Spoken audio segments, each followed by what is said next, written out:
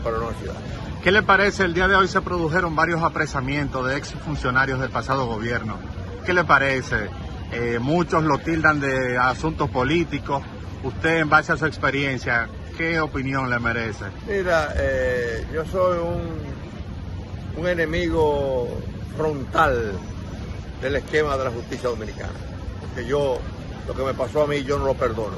Yo duré cinco años y siete meses aguantándole todo tipo de ultraje y de irrespeto a la gente de la Suprema Corte de Justicia.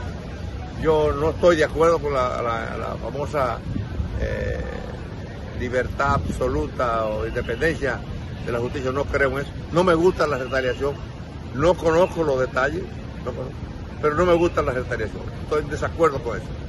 Los problemas de la tranquilidad del país hay que preservarlo. Ahora, el que metió la pata, que la pague.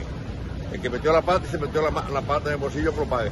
Pero a mí ese, ese jueguito de filtraciones de informaciones y de irrespeto a mí no me gusta.